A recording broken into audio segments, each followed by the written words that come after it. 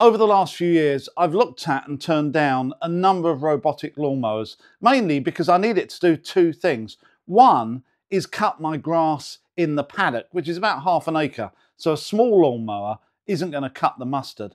And two, the area in the paddock is complicated. There's all kinds of boundaries and bushes and islands that potentially a robotic lawnmower would need to find its way around. And that's why I've finally settled on the Sveaverken Blix.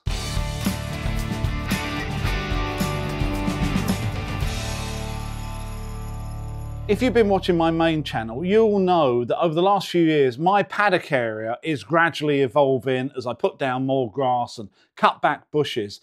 And the last thing I want to have to do with a robot lawnmower is have to bury a cable around the perimeter so it knows where to cut. Because as my grass and my paddock changes, I've got a feeling I'm going to be digging that cable up every five minutes to change the shape of what I want it to cut. But this robot lawnmower claims that it doesn't need a perimeter cable because it works on something called LiDAR and vision technology to navigate around your lawn and avoid flower beds and obstacles. So today I'm going to set this up and get it cut in and answer one simple question, which is, is it worth buying?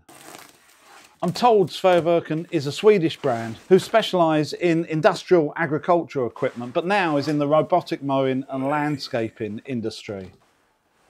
This is one of their medium-sized mowers. Because I've got so many obstacles dotted around my paddock, I'm really interested in see whether this LiDAR system actually works or if it's just going to end up in a bush. And as my garden is a combination of paths, garden, paddock and little narrow walkways, I'm sort of hoping it can navigate its way around. So there's only three components. That's the main unit and then this sort of little garage that comes in two parts. And it doesn't even get bolted together. We need to go outside and with these sort of plastic uh, screws, screw it into the ground. I haven't actually decided where this is going to live permanently yet. So I thought I'd just set it up outside my back door, relatively near to a power point. However, it comes with an extra extension lead of about 10 meters. So you don't have to be that close to an external socket to make it work. Setting this up to get the mower charged really only takes a minute or so and you don't even really need to read the instructions. So I'll take off these two protectors of the prongs which I assume charge the machine and then just roll it in place and it just connects onto them with a satisfying click. So this is the exciting bit to see if they talk to each other. I've just uploaded the app here and there's a big button here that says connect mower. Let's see what this does, shall we? Set up charging station, yeah, next. Yeah, I'm sure that's all okay. Power on, solid green light. Yep. Press the power button. When green light blinks, setup is complete. So there we are. Job done. It's actually talking. No map yet. Use joysticks to create a map. Oh, map lawn then, I suppose. How cool is this? It's like an arcade game. Now let's see, can we move it back? Oh my god. So setting up a zone for it to cut, I found to be really, really easy. All you do is walk it around the perimeter and then come back to where you started. It recognises that, you press a button and that is your zone. Just a couple of points here. You can do it at three different speeds. So when things get a little bit complicated, I found putting it down to the lowest speed just helps a little bit. And when things are very straightforward, then putting it up to the high speed just gets the job done a bit quicker. There doesn't seem to be any limit on the number of zones that you can map out. So you can potentially map different parts of the garden and cut them completely independently. On purpose, I'm taking this through some pretty long grass that I haven't cut for quite some time, just to see whether it gets through it or not. But at the same time, for the first cut, I am starting with a fairly high cut, just so it doesn't get too clogged up with this thick grass. I'm getting as close as I dare to to any sort of edges, hoping that it will replicate where I put this machine in the future accurately, but we'll find out in a minute, I suppose. Before anyone says that my driving is a little bit all over the place, please remember I'm also holding a camera so you can see what I'm doing. It's not the easiest thing. I'm trying to do three things at the same time here.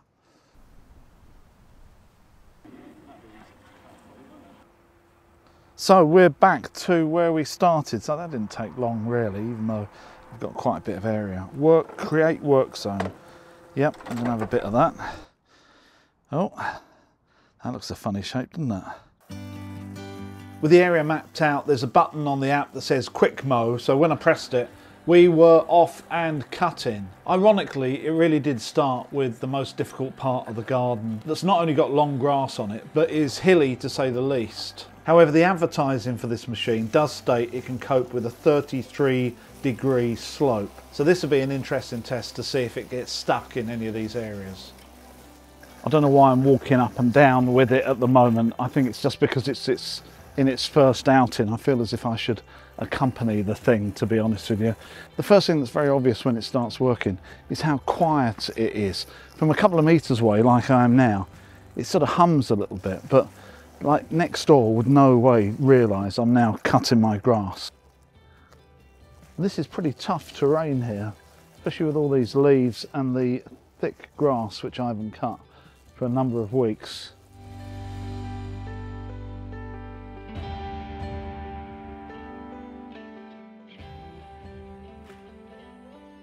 Before long, it started mowing the main bulk of the area with parallel passes backwards and forwards. And although the grass is wet and long in lots of areas, it just seemed to get on with the job. So I thought I might make it a bit more challenging. So the lawnmower is just in the middle of its up and down here. And what I've done is I've just put a Lowe's bucket here, just in its way. I know it's in its way, just to see what it's going to do. It's coming.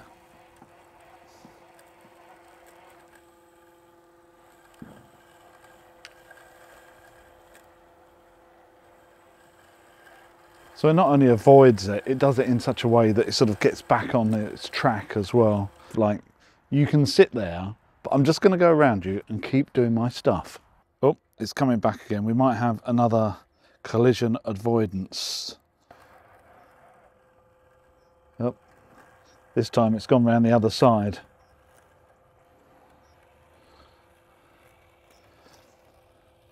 Then it just goes back to where it was originally supposed to be and just keeps cutting. If it does encounter any problems like this, it also takes a photo and sends you a notification so at least you know there's something wrong. I think the strategy for lawnmowers like this is to take a little off, but often. And from what I can see, that's exactly what it's doing. So as you can see from the app, it's now done around about 25%, but it's still got like over five hours to go because this is a fairly big area, which is good because I don't have to stand here actually supervising it. I'm going to go in and have something to eat. Let this thing just carry on and do its stuff. And I might see it later. So this is just a couple of hours later. The nights are really drawing in now, so it's absolutely pitch black. And I'm just lighting this up with a torch just so I can get some light for the camera. And it's still merrily working away on its own.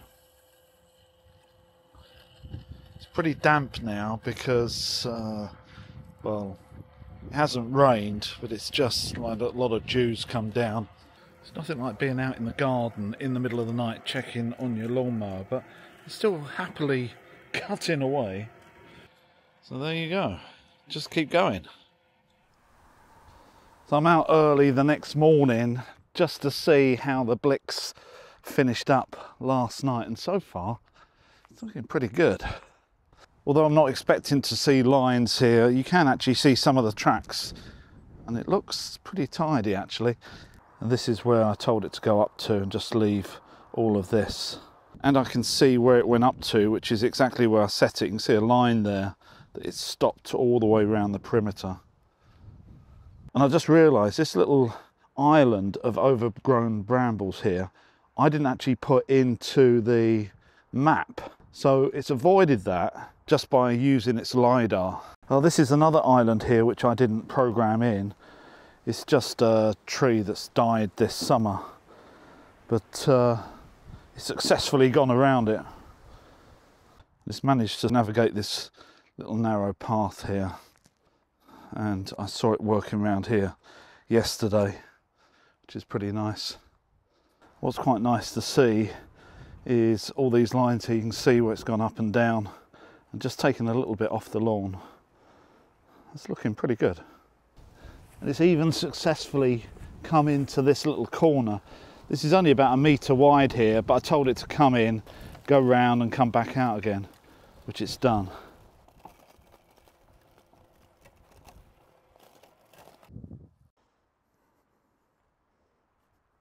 Because the lawn was really wet when it cut, I decided to give it a bit of a wash down with the hose, just to get as much wet grass off of it as possible.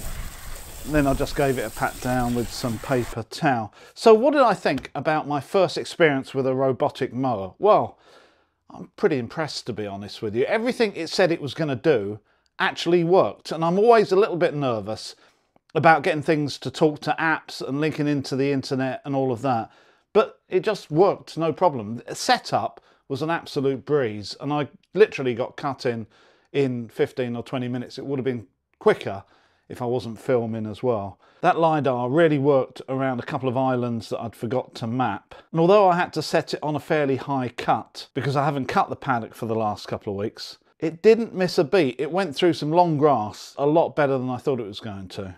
So I'm so pleased I've got this. It's really going to help me cut that grass regularly, which isn't what I've been doing recently. And I think it's going to make it into quite a nice lawn. I hope you enjoyed this review. I will see you next time.